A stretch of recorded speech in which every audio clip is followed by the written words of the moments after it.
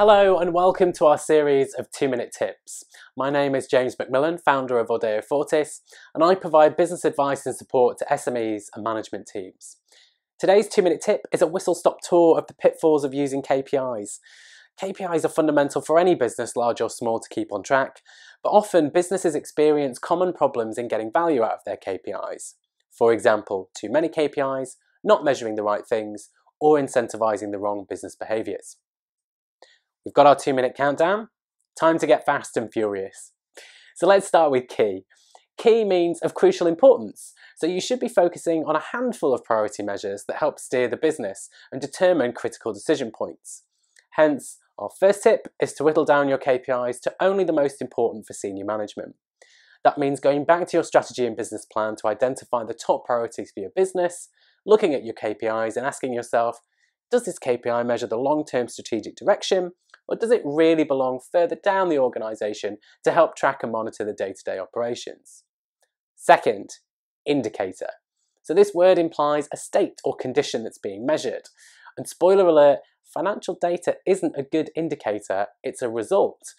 So for example, hitting a sales budget doesn't tell you if the underlying activities or drivers of that number are actually sound. So tip number two, think hard about your measures. What's that indicator really telling you? And when designing which indicator is best, try to balance out financial measures with qualitative drivers. So lastly, that brings us to performance. So note that performance is not a byword for success.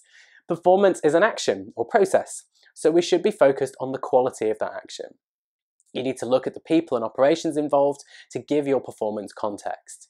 So tip number three, instill positive impact in your KPIs.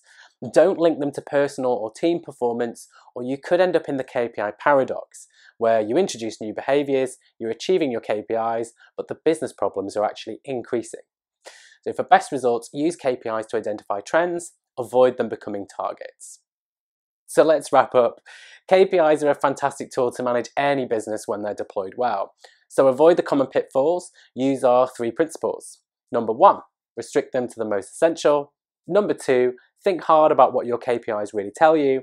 And number three, make sure they're positively impacting your organization. If you want to discuss how we can help you and your KPIs, get in touch via our website or social media. We'll be happy to have a chat. Thank you for listening.